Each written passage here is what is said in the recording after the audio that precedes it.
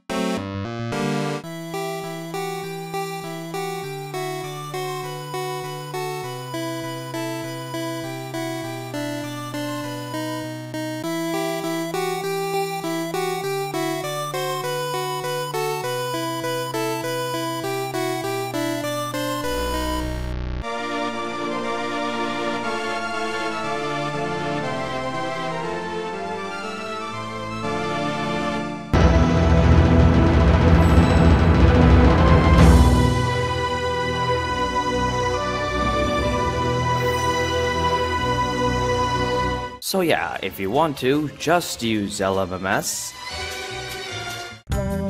This video is surprisingly not sponsored by FL Studio.